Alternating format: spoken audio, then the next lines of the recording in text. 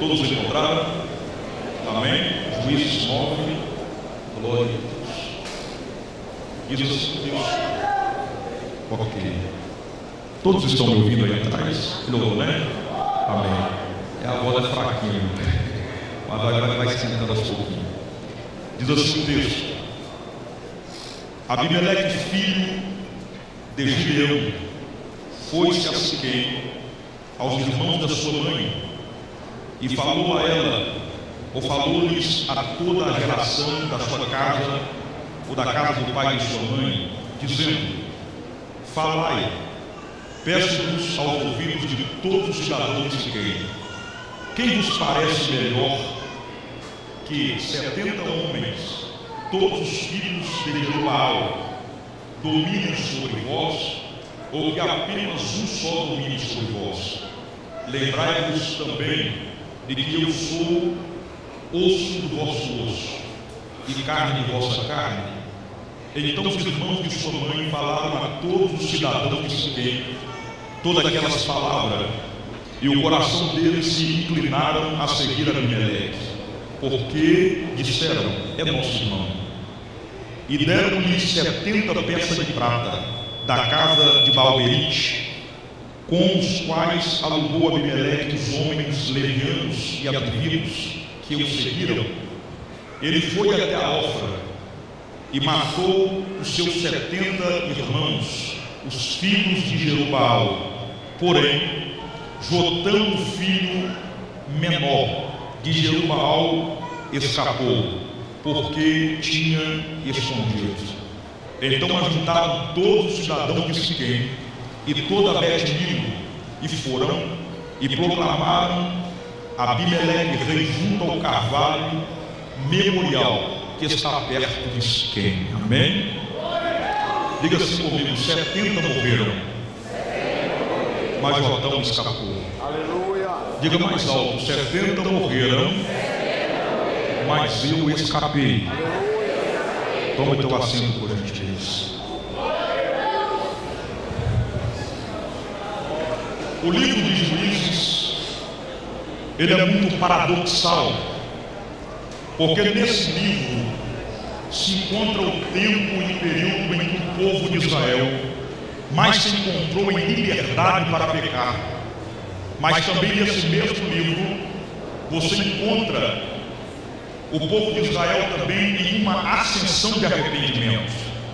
Toda vez que eles pecavam, certamente os juízos de Deus vinham sobre eles, eles se arrependiam e Deus permitia que, através dos seus arrependimentos, levantasse homens com uma característica de uma unção sobrenatural para poder dar a eles o livramento necessário dos seus inimigos, dos seus adversários.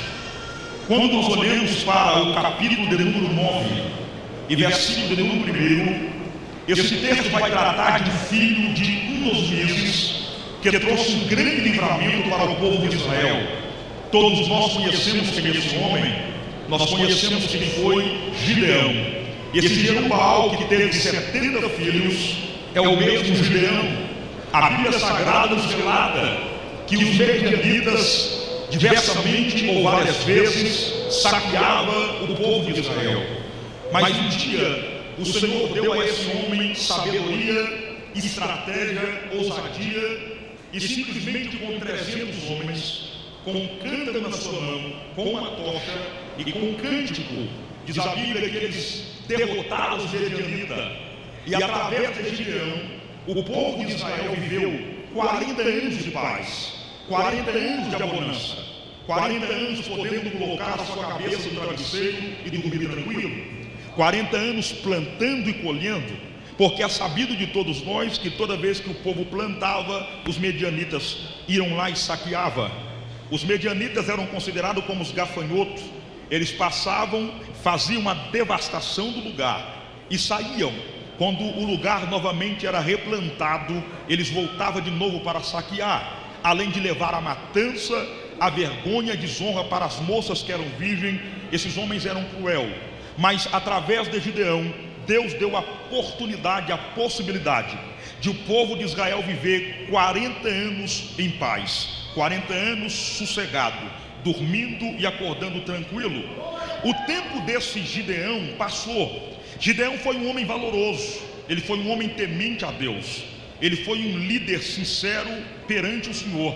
O tempo dele vai passar. Esse homem, Gideão, ele aqui no capítulo de número 9, que esse é chamado, ou mesmo é chamado de Jerubaal, ele já não tem mais a idade de 20 anos, ele já não está com a idade de 25 anos, ele já está com as suas cãs brancas, a sua idade já está avançada, ele já não tem a mesma força para poder manusear uma espada como ele manuseava na sua juventude, ele não tem mais a mesma força para poder guerrear como ele guerreava no seu tempo de juventude. O tempo dele passou. O que entristeceu Gideão é que nesse tempo de 40 anos que o povo está vivendo em paz, o pecado chamado pecado da ingratidão agrediu de novo o coração do povo de Israel.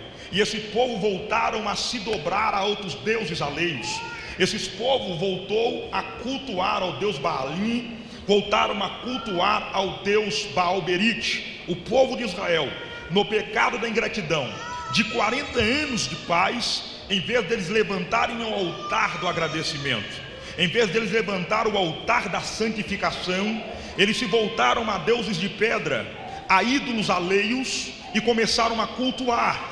Então o pecado se instalou novamente a Israel.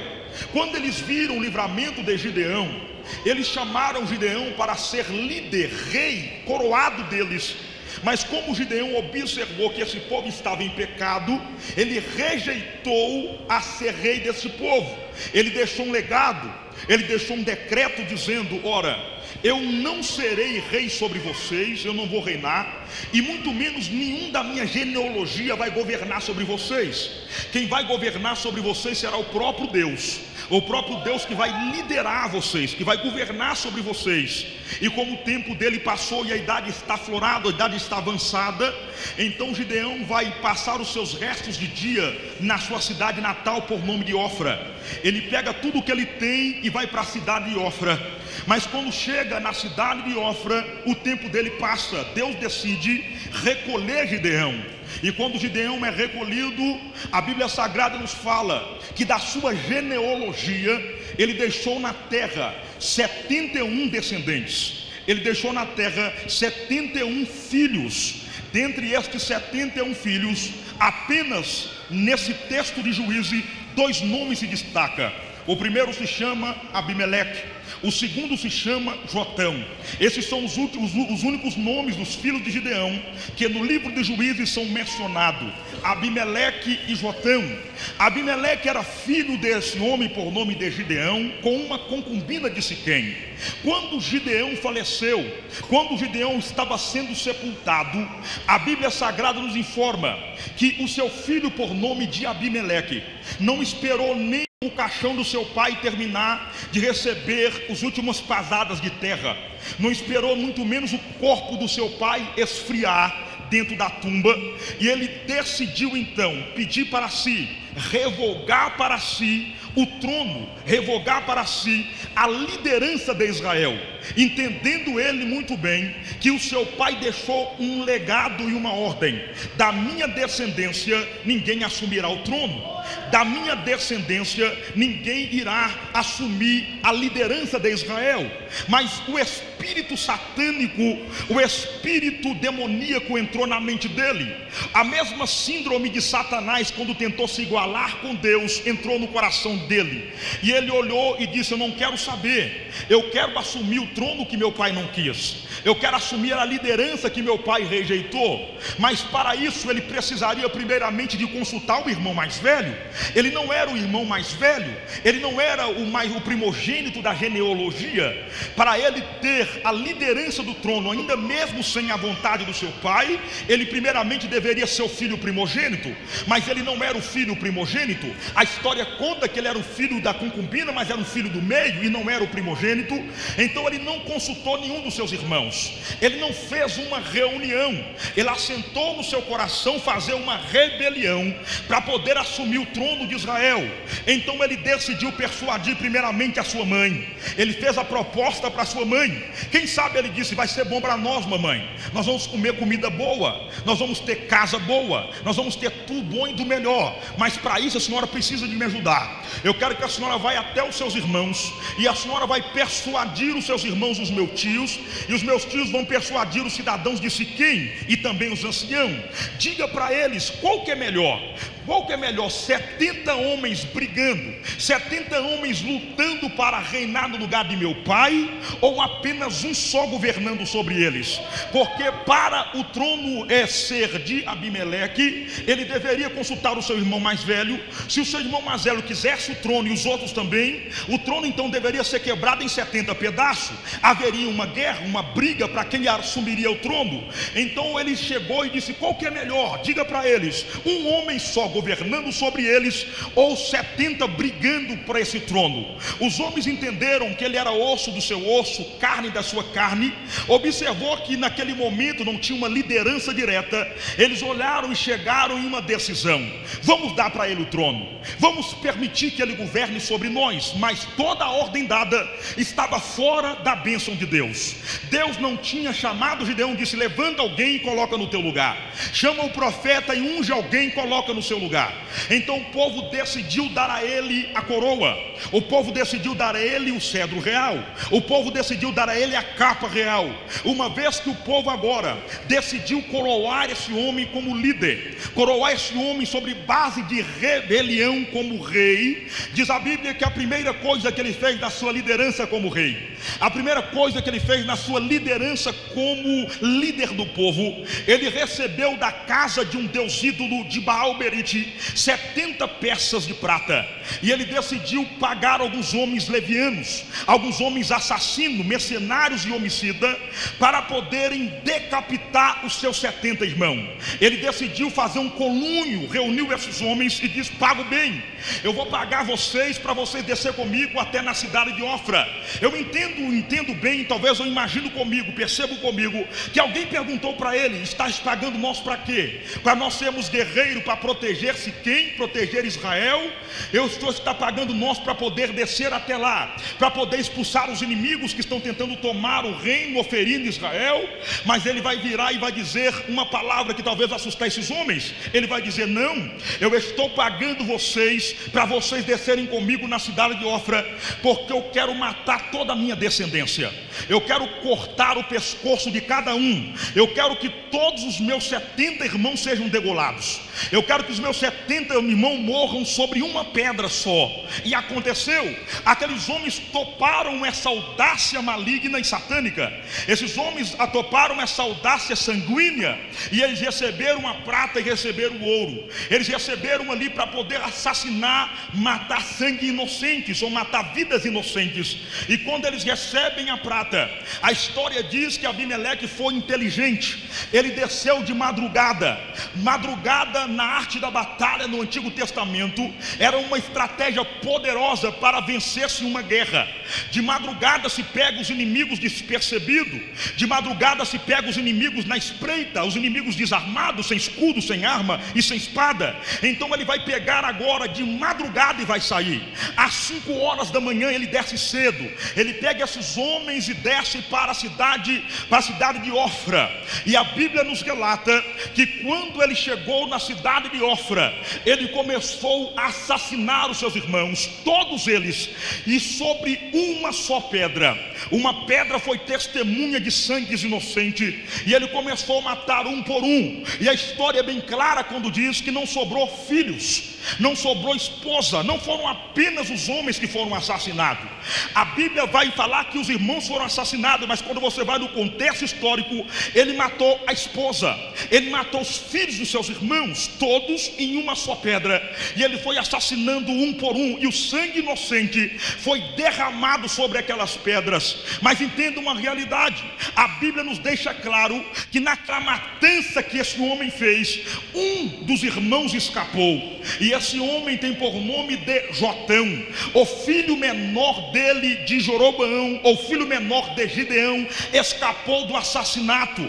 Esse homem matou todos os outros irmãos, mas quando chegou na casa de Jotão, ele procurou debaixo da cama, ele procurou nos banheiros, ele procurou ao redor da casa, ele subiu no terraço da casa, mas ele não conseguiu encontrar Jotão, porque Jotão tinha escapado. Uma das variantes do nome Jotão no original significa aquele que escapa por esperança, aquele que escapa por esperança.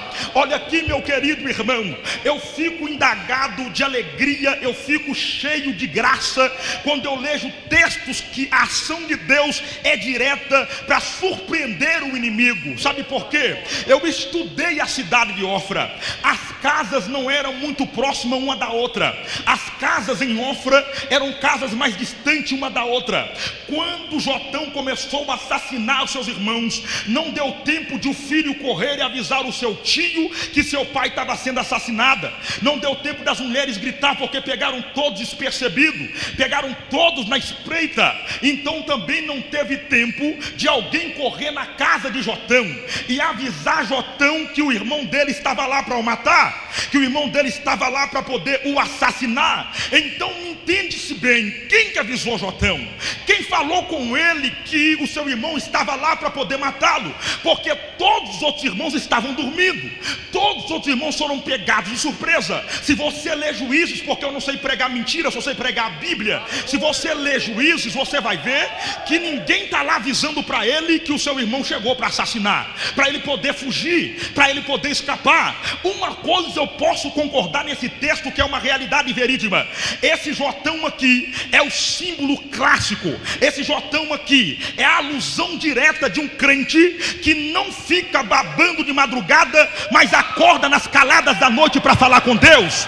Acorda nas caladas da noite para poder conversar com o Senhor. Eu tenho a certeza total e cabal que foi o próprio Deus que desceu ali para poder falar com Gideão, para falar com Jotão. Escapa-te pela tua vida, já que você conversa comigo de madrugada. Se você fala comigo nas caladas da madrugada, você tem amizade comigo, você tem contato comigo. Então, se você tem contato comigo e amizade comigo, eu não vou permitir que a morte te pegue despercebido. Escapa-te depressa, pega a tua família e foge, porque o teu inimigo vem aí, porque o teu adversário vem aí, irmão. Crente que ora de madrugada, Abimeleque não pega ele de surpresa, crente.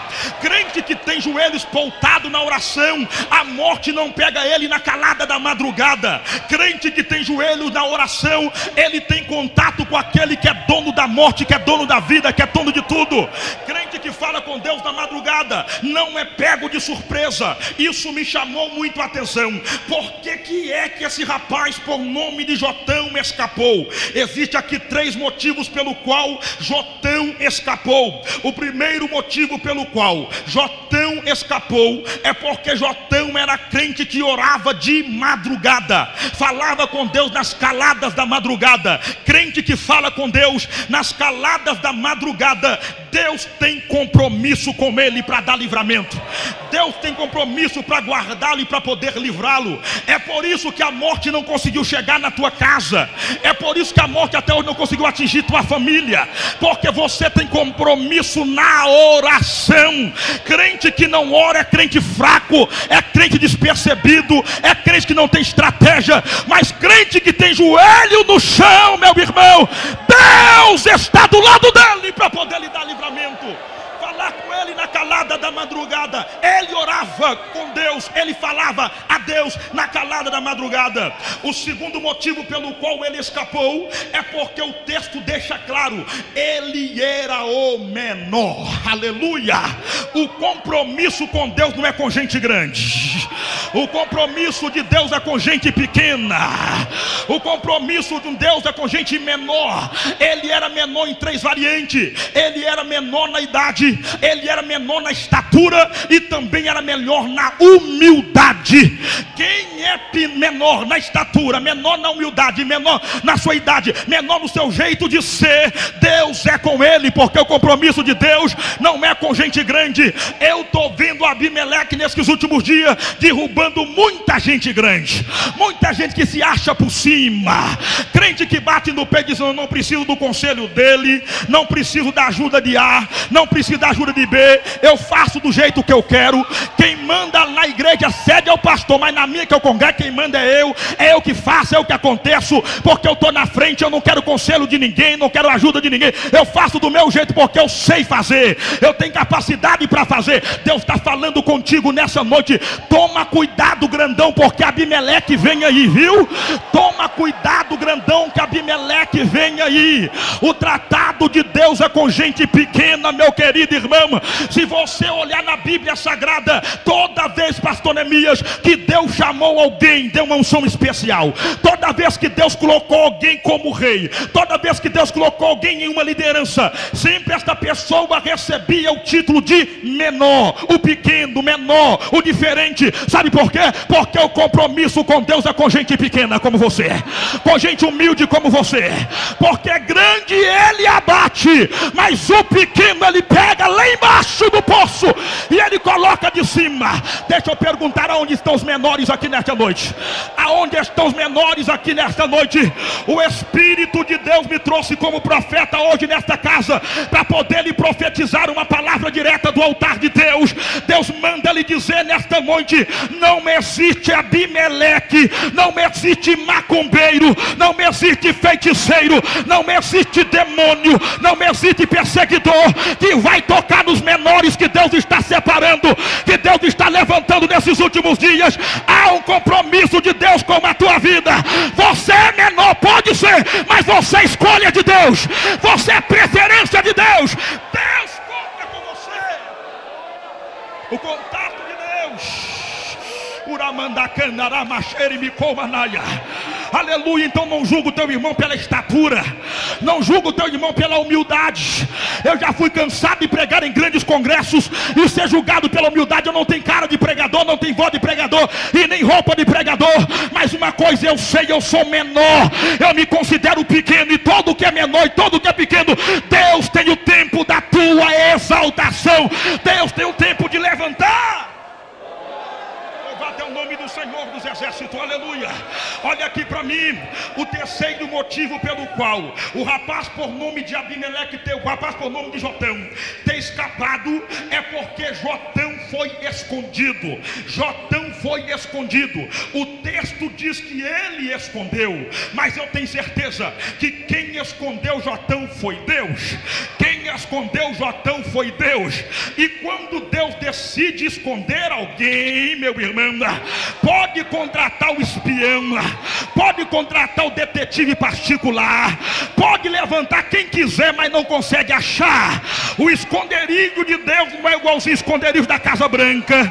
O esconderijo de Deus não é igualzinho ao esconderijo que o Osama Bin Laden ficou escondido. Todo mundo dizia: não encontra mais, não acha ele mais. Ele escondeu, ele fez o que fez. Ninguém vai encontrar que não encontra. Esconderijo do homem, ele foi achado porque o esconderijo do homem é falho, mas existe o esconderijo que Deus escondeu Abimeleque, que o inimigo não conseguiu achar. Que esconderijo é esse, pastor? É Bíblia pura. Salmo 91. Aquele que habita no esconderijo do Altíssimo, a sombra do Onipotente o descansará. Olha aqui para mim, meu querido irmão. Enquanto a obra do Senhor está para se concretizar na tua vida, Ele não vai permitir que assassinos espirituais achem você. Você está no esconderijo de Deus. Eu estou profetizando nessa noite, senhores pastores. Vocês estão no esconderijo do Altíssimo. Deus está escondendo o teu ministério. Deus está escondendo a tua família. Deus está escondendo a tua casa. Você está no esconderijo do Altíssimo. Minika Lamanterio Manaika Leva Cheias. Levante a tua mão que eu estou sentindo a presença de Deus aqui. Eu estou sentindo a presença de Deus aqui. Liminicandarama cheia. Há um livramento de Deus para a casa de obreiros aqui nessa noite. Há um livramento de Deus para a casa de homens e mulheres que entraram aqui nessa noite. Alguém está dizendo, mas ele é terrível, era é terrível. Por que, é que esse rapaz não morreu ainda? Por que, que é que esse homem não morreu ainda? Sabe por que, obreiro? Porque você ora. Sabe por que, meu irmão? Porque você ora. E se você está orando, Deus está dizendo: Eu tenho um plano na vida daquele rapaz ainda. Eu tenho um plano na vida daquela moça ainda. E enquanto tiver alguém orando, eu vou esconder no meu esconderijo. Eu vou guardar no meu esconderijo. Aleluia. Aramande que le mandarai chorimicandaraias. Orimiande com manama cheia. A oração vale demais. A minha mãe orava toda madrugada, irmã. Eu sou de uma família de sete irmãos. E meus irmãos todos cresceram no Evangelho. Mas o inimigo decidiu dar rasteira em alguns deles. Ficaram desviados da presença de Deus. Eu tenho um irmão do meio, o segundo mais velho, Marcelo. Ele, quando saiu da presença de Deus, ficou terrível. Ele dava tiro até no vento. Ele dava tiro até na sombra. A minha mãe toda madrugada a minha mãe dobrava joelho para orar a Deus com medo de receber uma notícia que ele for assassinado no meio da rua, ou alguém pegou ele na espreita, escondido na cilada. Eu me lembro uma vez que era meia-noite e quarenta, a minha mãe estava na sala de joelho orando a Deus, e de repente eu ouvi pelo menos cinco tiros consecutivos.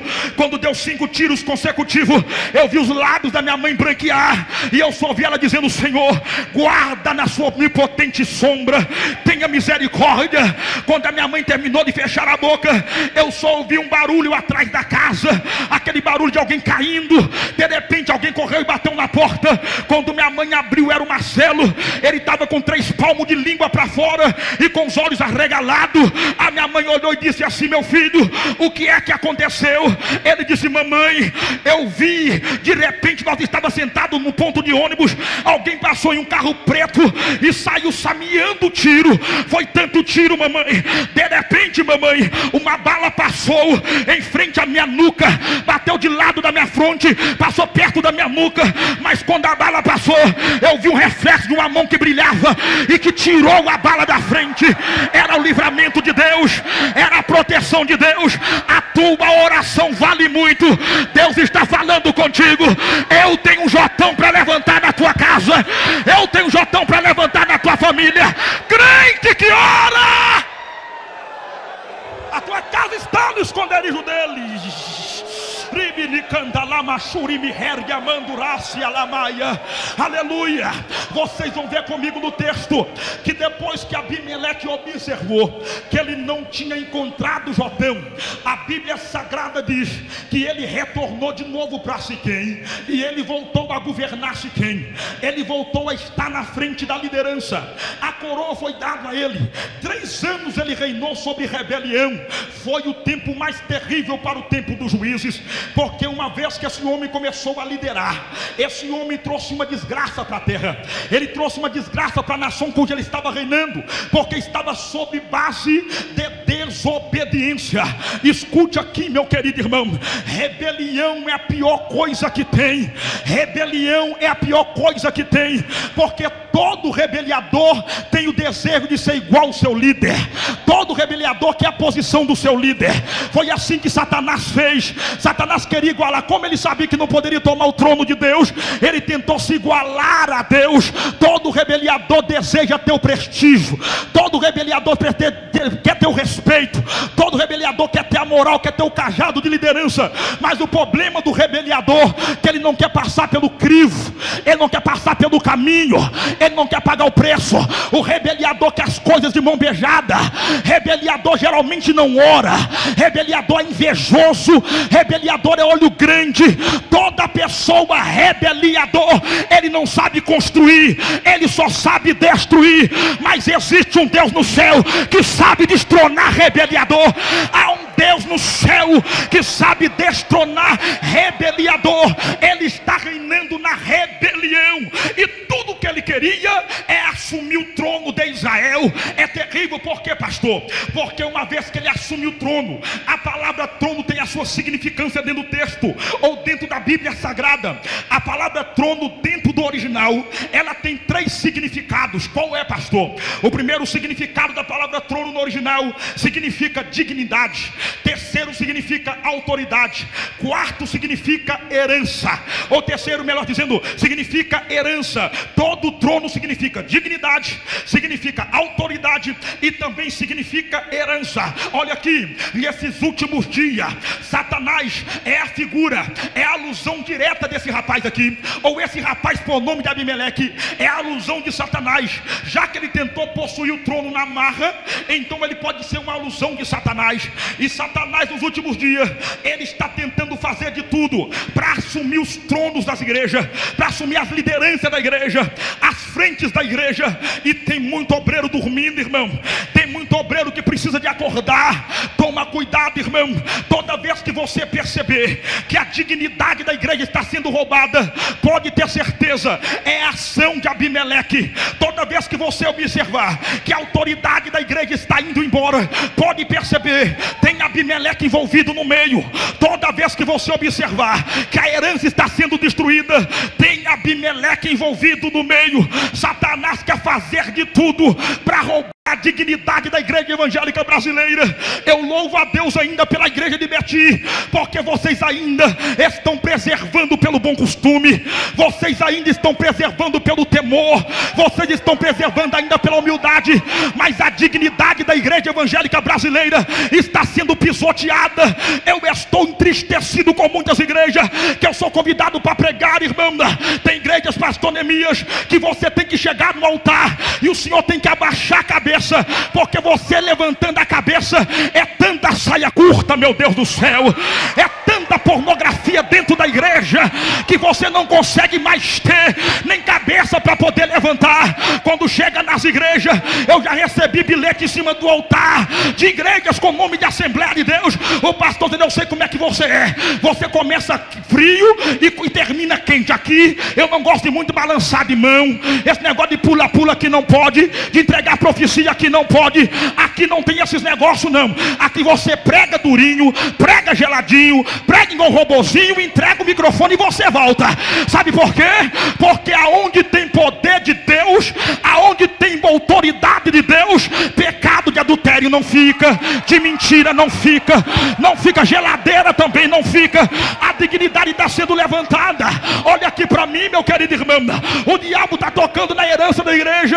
A igreja tem três maiores heranças. A primeira maior herança da igreja se chama salvação. Salvação é a primeira maior herança da igreja. Nada que você tem, o teu carro, a tua posição, a tua empresa, o teu dinheiro, o teu prestígio, o teu nome, nada disso é maior do que a tua salvação, a tua salvação é a maior herança que você tem, a tua salvação é a maior herança que você tem. As igrejas por aí pararam de pregar salvação, onde somente que se prega é barganha. Traga o envelope com mil e a tua empresa vai receber um milhão. É assim, onde está acabando, né, irmão? Mas ainda há igrejas que prezam pela salvação, ainda há igreja que sabe que o sangue de Cristo a segunda maior herança da igreja se chama família. A família é a segunda maior herança da igreja. A terceira maior herança da igreja é os bens que você conquista com a tua labuta.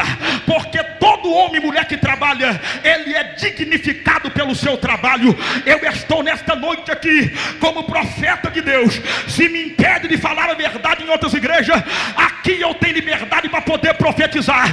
Abimeleque não vai roubar a dignidade dessa igreja. Abimeleque não vai roubar a autoridade dessa igreja. Abimeleque não vai tirar a herança dessa igreja. Eu profetizo que toda vez que levantar um Abimeleque em Betim, Deus vai levantar 10 Jotão. Deus vai levantar 10 Jotão. Deus vai levantar. Eu não sou de fazer isso, meu irmão, mas com todo respeito ao teu irmão, diga assim para ele: Deus conta com vocês. Oh, aleluia. Oh, glória ao nome do Senhor dos Exércitos. Deus conta com você, senhores pastores. Deus conta com você, minha irmã.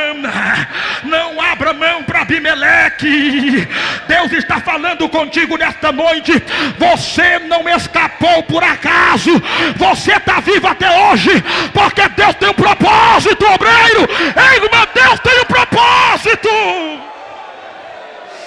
Ei, glória a Deus. Ele está reinando debaixo de perjúrio, Ele está reinando debaixo de rebelião. E olha aqui, vocês vão ver comigo que o rebeliador tem atitudes. Qual que é a primeira atitude do rebeliador? A primeira atitude do rebeliador é matar todo mundo que para ele é perigo. Todo mundo para ele que é perigo, ele vai matar. E é por isso que ele matou os seus 70 irmãos. E olha que ele é tão covarde que ele usou dinheiro do templo, esse vagabundo. Ele usou dinheiro do templo para poder assassinar seus irmãos. Ele tirou dinheiro do templo para acabar com a vida dos seus irmãos. Ele pagou, não foi do bolso dele, não. Esse miserável não trabalhou. Ele foi lá e tirou do templo 70 pratas e foi lá pagar para alguém matar, para alguém destruir os teus 70 irmãos. Entenda uma coisa, meu querido irmão. Se você quiser saber das características do Abimeleque, é só você olhar o pezinho dele. Ele nunca está do lado do seu companheiro. Ele nunca fala bem do seu irmão. Ele sempre tem uma coisinha. Ó oh, pastor, se eu fosse você, eu tirava ele de lá, que eu vi um jeitinho dele assim. Ele trabalha assim, ele faz assim, ele acontece assim. É Abimeleque, ele não está contente, não está alegre com o campo que foi dado para ele. Ele não está feliz com a igreja que foi dada para ele, ele quer mais. Ele sempre quer mais. Para ele ter um espaço livre para crescer, então ele vai matar, então ele vai assassinar. Mas aqui não tem lugar para ele, não. Aqui é um Deus vivo, ele não está morto, os olhos dele estão dentro. Ele vê todas as coisas, Ele pagou pela cabeça dos seus irmãos. Olha aqui, meu querido irmão, toda pessoa que Deus vai honrar Toda pessoa que Deus está honrando, toda pessoa que Deus vai levantar para o seu nome ser é pessoa já tem a sua cabeça comprada. Essa pessoa já tem a sua cabeça comprada. Jesus nasceu na manjedoura. Quando Jesus começou a ganhar destaque, sabe o que aconteceu? Pagaram pela cabeça dele 30 moedas de prata, porque ele estava crescendo. Só porque João Batista pregava arrependimento, uma mulher dançou e pagou pela cabeça dele. Lamachuribicanaraia. Jotão pagou pela cabeça dele, só porque o teu nome é escape pela esperança. E Deus tinha um propósito na vida dele. Senhoras e senhores, entendo o que Deus está falando contigo. Você sabia? A tua cabeça está no teu pescoço, porque Deus tem um propósito. Porque já pagaram caro pela sua cabeça. Já pagaram caro pela sua cabeça, meu querido irmão. Alguém pagou caro porque sabe do propósito de Deus na sua vida, hein, pastor Neemias? Tu sabe dizer isso. Os pastores que estão aqui sabem dizer isso. Aleluia. Por causa do propósito de Deus na vida dos senhores. Alguém pagou caro para ver sua derrota, para ver sua queda. Mentirosos, caluniadores, fofoqueiros. Ele pecou, ele fez e aconteceu sem ter feito. Pagaram um macumbeiro para ver se a tua queda é grande, é alta. Mas o Senhor me trouxe aqui para lhe dizer: se estão pagando para ver tua derrota, se estão pagando para ver o teu pescoço na bandeja, tá jogando jogando dinheiro fora, está gastando dinheiro à toa, porque o preço que você já foi pago é maior do que prata, é maior do que ouro, é maior do que peso, é maior do que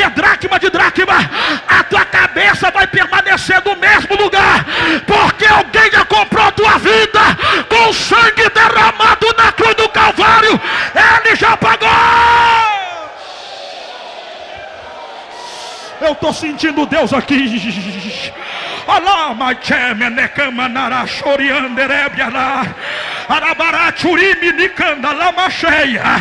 Deus está falando com alguém aqui nessa noite. Coloque a tua cabeça do travesseiro e dorme em paz. Aquieta a tua alma. Nenhuma arma preparada contra a tua vida vai prevalecer. Mil cairão ao teu lado, dez mil à tua direita. Você não será atingido.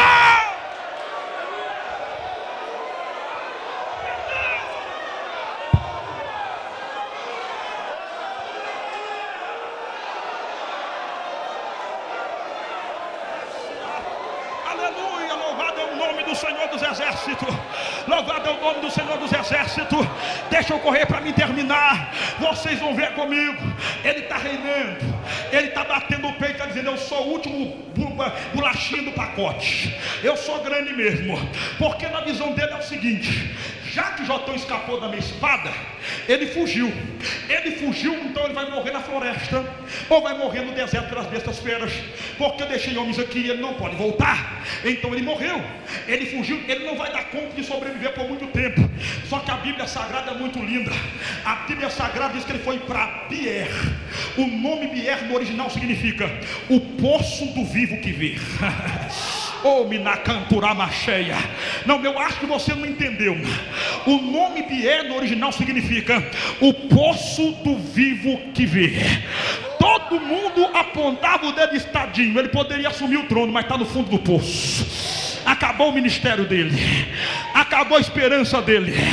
Ele pode estar até no fundo do poço, mas ele está no fundo do poço do vivo que vê. Está entendendo o que Deus está falando contigo nessa noite? Talvez o inimigo levantou, levantou os dedos. O inimigo apontou o dedo, abriu a boca e diz: Eu acabei com ela. Eu acabei com ele. Ele está no fundo do poço. Ele vai chegar naquela segunda-feira, lá vai chamar o pastor Nemis do particular e vai dizer: Pastor, estou entregando a minha credencial porque eu não aguento mais. Eu desisti, eu vou parar. Não dá mais para mim continuar. Deixa eu dizer uma coisa para você nesta noite aqui. Você você pode estar até no fundo do poço, mas você está no fundo do poço do vivo que vê. Deus está vendo, Deus sabe o que está acontecendo, Deus sabe o que se passa com você. Entenda uma coisa: aceita o trabalhar de Deus. Ei, querida irmã, ei, querido obreiro, não te apressa. Eu sei que você está dizendo assim, mas eu poderia estar lá, eu poderia assumir aquele lugar, eu poderia assumir aquela posição, mas ninguém me vê, ninguém está me enxergando. Será que você não está entendendo? É Deus que está te guardando, Deus está te escondendo, Deus tem a hora certa para você aparecer. Para de pressionar o pastor e falar: me, me consagra logo, me dá aquela consagração, me dá logo, pastor, aquela igreja, me coloca para pregar naquele trabalho, pastor. Oh, pastor, eu quero fazer parte da diretoria, pastor. Será que você não está entendendo? Deus está falando contigo Aguarda o tempo, Ele está te escondendo, Ele está te guardando. Porque toda pessoa que tem uma promessa sempre terá uma Abimeleque no calcanhar dela. É Deus que está usando o pastor para te guardar, para te proteger. Tem a hora certa, tem o tempo certo. Não desista, não abaque a tua cabeça. Na hora certa, Deus vai mandar te chamar. Deus vai mandar te chamar. Erei manaracanturá macheias. Eu estou sentindo a presença de Deus aqui nessa casa, irmão. Há uma glória de Deus aqui nesta casa, aleluia. Ele estava no poço do vivo que vê. A hora que Abimeleque pensou que estava por cima, Deus foi lá no poço do vivo que vê, aleluia. E desceu lá e disse assim para ele: Sai do poço, sai do fundo da lama, porque eu sei que você é de genealogia de guerreiro, mas eu vou tomar tua boca como profeta hoje, aleluia. Ele saiu lá do fundo do poço, já levantou como profeta. Diz a Bíblia Sagrada que quando ele recebeu a notícia. Que Abimeleque governava o Senhor falou com ele: vai profetizar hoje. Ele subiu correndo, foi lá para o monte Gerizim. E quando chegou no monte Gerizim, diz a Bíblia, que ele começou a proferir as três primeiras parábolas do Antigo Testamento. Ele chegou por perto do povo e começou a gritar: O que vocês fez perante Deus, se é agrado de Deus, nada vai acontecer com vocês. Mas se o que vocês fizeram, a matando a família de meu pai, assassinando os irmãos do meu pai, fez, ao algo de grave vai acontecer com vocês. Eu quero lhes passar uma parábola, povo de Israel. Um dia, as árvores que simbolizam Israel foi até a oliveira e disse: Oliveira, reina sobre nós. A oliveira disse: Não vou reinar. Pararia eu de dar o meu azeite que agrada tanto a Deus e agrada aos homens para reinar sobre vocês? Não vou reinar. No outro dia, eles foram até a figueira e disse: Figueira, reina sobre nós. A figueira disse: Pararia eu de dar o meu figo doce que honra tanto a Deus e aos homens para reinar sobre vocês? Eu eu também não vou reinar. Então as árvores foram até a videira e disse: Videira, reina sobre nós. A videira disse: Para ele dar o meu vinho, que honra a Deus e aos homens para reinar sobre vocês. Eu não quero reinar sobre vocês. Então as árvores foram até o espinheiro. O espinheiro se representa Abimeleque e disse para o espinheiro: Espinheiro, reina sobre nós. O espinheiro disse: Fica debaixo da minha proteção, fica debaixo da minha sombra. Mas se vocês saírem debaixo da minha sombra, fogo vai sair de mim e vai consumir vocês. Olha aqui, por causa de um mau líder, por causa de um mau obreiro, o povo de Israel perdeu três árvores memoriais por memoriais da parte deles que eles prestigiavam e honravam.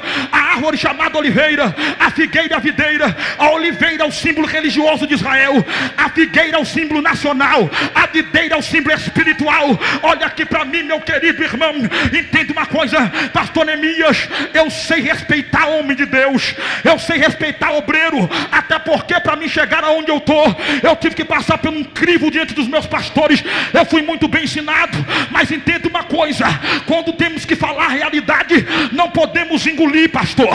Entenda uma coisa, quer descobrir quando você tem uma Abimeleque em uma congregação, é só o senhor observar, se lá não tiver oliveira, se lá não tiver figueira, se lá não tiver videira, o mau obreiro está dentro daquela congregação, porque quando Abimeleque assumiu, o povo olhou e disse: perdemos oliveira, nós perdemos figueira, e nós perdemos videira, toda igreja que não tem oliveira, é uma igreja seca, o azeite do Espírito de Deus não jorra mais nela, não se vê mais o ancião profetizando na esquerda e o menininho de cinco anos interpretando na direita.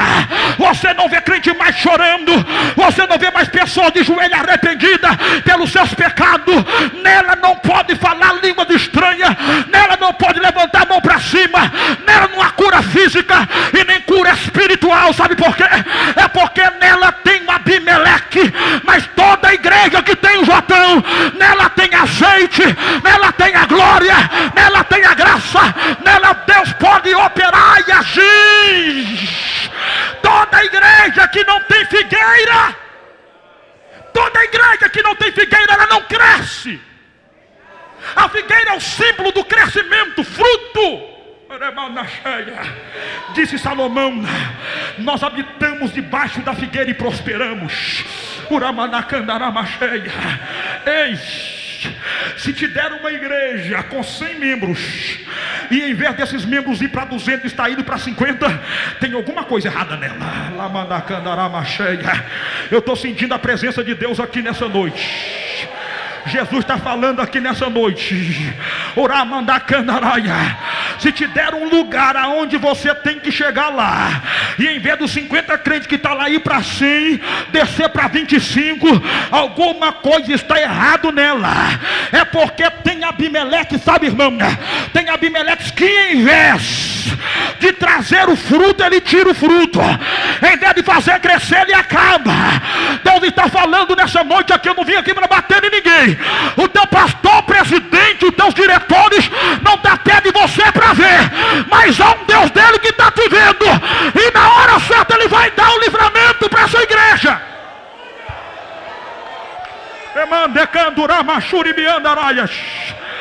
A igreja não é empresa de ninguém, irmão. Não é entretenimento. A igreja é a noiva de Cristo. E nós temos a semente da palavra em nós. A igreja tem que crescer. Amandacanturamas o teu nome pode comprar o homem, o teu dinheiro pode comprar o homem, a tua posição pode comprar o homem, mas não compra o Deus vivo. Você pode tocar em todo mundo, mas não mexe com a igreja de Deus, não. Pode mexer com todo mundo, mas não mexe com a igreja de Deus. E muito menos toque em um homem de Deus. Aonde tem um homem de Deus, uma igreja de Deus não mexe. Eles perderam a videira. A videira representa o símbolo da alegria. Por amacheias o símbolo do Espírito Santo. Sabe por que é que tem crente levantando mão aqui hoje? Sabe por que é que tem crentes hoje falando línguas estranhas aqui? Sabe por que, que essa igreja está cheia? Porque aqui tem oliveira, figueira e tem videira. Turamandá cantará macheias. Irmãos, eu não estou aqui para bajular a igreja de ninguém, mas eu acompanho essa igreja tem muito tempo. Ó. Deus, quando era pequenininha, eu não vim aqui, mas eu comprava os DVD dos pregadores que pregavam aqui. O meu amigo Ali sempre vinha aqui. Eu vi o crescimento dessa igreja. Pelo tempo que eu tenho observado, dobrou o número. Sabe por quê? Porque ainda tem oliveira, porque ainda tem figueira. Se tirar oliveira, tirar figueira, tirar videira, acabou, só vai diminuir. Mas enquanto tiver oliveira, figueira, videira, vai crescer para a glória de Deus. Vai crescer, vai crescer, vai crescer, vai crescer. Quem quer que vai crescer? Eu profetizo que vai vai crescer, em todas as áreas vai crescer. Coloca sobre seus pés que o melhor vem agora. O melhor vem agora. Dá tempo de orar, pastor? Dá tempo Diga assim comigo, para o rebeliador, mais alto, para o rebeliador, Deus tem surpresa. Deus tem surpresa. Primeiro, Deus levantou. Mais alto, primeiro, primeiro Deus levantou, Deus levantou um profeta, um profeta para denunciar, denunciar, os seus erros. Está entendendo, irmão? E olha que ele profetizou, ele estava ele com tanto sangue na boca, a vingança de Deus era tanta, que ele deveria correr para o Monte Ebal. Porque é no Monte Ebal que se lançava o juízo de Deus. Ele correu para o Monte Gerizim. A machura me clama na Ele profetizou a profecia de Ebal em Monte Gerizim. Mas eu estou orando a Deus que nesses últimos dias ele levanta profetas do Monte Ebal. Porque profetas do Monte Gerizim está cheio. Profetas que só liberam bênçãos está lotados. E todo profeta do Monte Gerizim só profetiza para ganhar campo. Para ganhar respeito. Não, eu vou fazer assim, Deus está dando, fala desse jeito. Eu vou falar assim porque aí eles vão me convidar. Eles vão abrir a porta para mim mais vezes. Uramandacantureba chegas. Eu estou profetizando que Deus vai levantar em Betim que Deus está levantando em Betim profetas do Monte Ebal. Profetas que não concordam com mentira, profetas que não concordam com corrupção. Eu profetizo que Deus vai levantar em Betim uma igreja modelo, onde tem profetas que não temem o homem, que pregam a verdade que Deus levanta profetas aqui para chegar em convenções e abrirem a boca e falar a verdade de Deus. Mas a casa de Abimeleque vai cair. Vai. Ele se sentiu tão grande, porque nesses três anos ele reinou tão mal, pastor Neemias, que o povo começou a rejeitar ele, os pineiros. Não queremos seu reinado aqui. Pode dar o seu caça seu rumo. Ele diz, vai não. Você me colocou aqui, então vou começar a jogar sal e vou queimar a cidade. Todas as cidades ao redor dele jogou sal. E você sabe que o sal invalida crescimento. Todo lugar que era lançado o sol não dava mais para plantar. Ele começou a queimar os lugares e pôr sal. Ele foi queimando cidade uma atrás da outra. Mas um dia ele chegou em uma cidade. Oh glória a Deus. Ele chegou numa cidade que tinha crente, irmão. Aleluia uma cidade por nome de Tebes, que uma das suas variantes é a cidade de Torre. Ele chegou na cidade e disse: Eu vou queimar essa cidade também. Eu, eu mando de tudo, mesmo trono é meu, eu estou com eu vou queimar essa cidade aqui e queimo quando eu quiser. Mas Deus já tinha separado um homem e uma mulher para dar o livramento. Oh meu Deus do céu. Nós só pregamos que homem matou com pedra, chamaram Davi, mas você vai ver agora que Deus usou mulher para matar com pedra. Turamacanto, Rebe, Axéia. Aleluia. Quando ele chegou na cidade de Tebes, havia uma torre. E em cima dessa torre havia uma mulher. Ele olhou e disse assim: Vou queimar a cidade. A mulher gritou lá e disse: aqui você não queima, não, viu? Tu queimou tudo, mas aqui você não vai queimar, não. Turamandé canta lá, macheia. Cadê as mulheres de Deus aqui? Ah, se fosse trabalho do ciclo de oração, agora tinha pegado fogo. Aonde estão as mulheres aqui nesta noite? O Senhor me trouxe aqui para me casa. Ele está levantando homens e mulheres aqui para defender a sua casa, a tua família. Ninguém vai queimar teu ministério, ninguém vai queimar tua história. Deus está levantando alguém na torre da vigilância. Ele olhou para a mulher e deu uma gargalhada e disse: Tu vai me parar, minha filha? Olha a espada. Olha meu tamanho, tu vai me parar? Aleluia. Ela olhou e disse: Aqui tu não tem fogo. Ele, olhou e disse: Vou colocar fogo agora. Falou com, seu, com seus comandantes, com seus comandados e disse: Pega lenha verde e seca e mistura. Eu quero fumaça e fogo. Quando ele pegou as lenhas e começou a jogar na cidade, diz a Bíblia Sagrada que uma mulher pegou um morro. Sabe o que é morro? Pedra. Oh, glória, isso aí. Pedra molada por água de moinho. Ela foi lá e pegou uma pedra. Quando ela pegou aquela pedra, o menino está lá embaixo dando gargalhada, tadinha, não tem força para jogar nem uma pedrinha leve, essa pedra vai chegar até a mim. E Deus está dizendo, não sabe tu que eu sou o dono da velocidade? Eu vou te tomar, Amanda Cantureba cheia. Podem julgar você pela sua aparência, mas não sabe o tamanho do Deus que está na sua vida. Querema na cantura macheias, aleluia.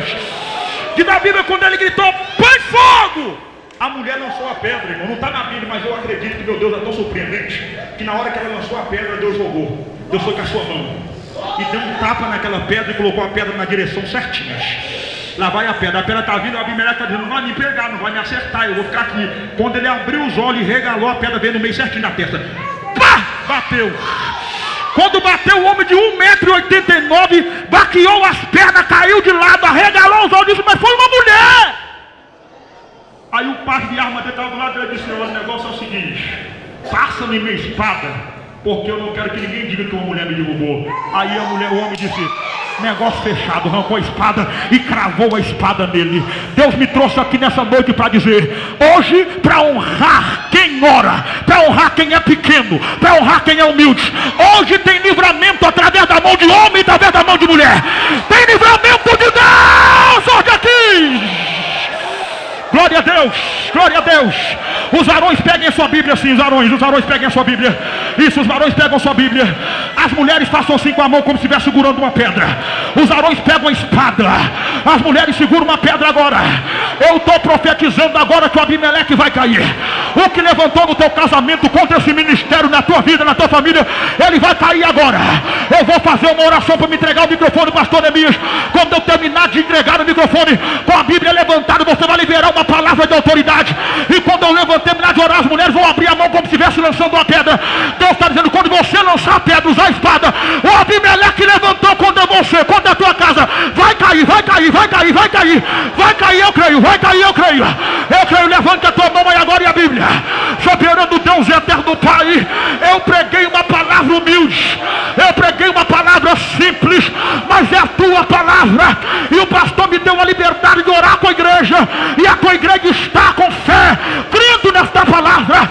Eu te peço agora, aonde tiver uma mulher de fé, que está na torre da oração, coloca uma pedra, uma pedra viva na mão dela, chamada Jesus de Nazaré, para derrubar o teu inimigo. Eu te peço também, aonde tiver um homem com espada, com a Bíblia levantada, que representa a nossa espada de batalha, eu te peço, dai a ele, dai a ela autoridade agora. Eu conto um, o Abimeleque já caiu na tua casa, já caiu na tua família, já caiu no teu ministério. Eu conto dois, Deus te deu autoridade para derrubá-lo agora. Eu conto três, derrama agora um som de Deus, que Deus derrame um som dele sobre a tua vida. Lance a pedra, lance a pedra e usa a espada. Lance a pedra e usa a espada. Agora!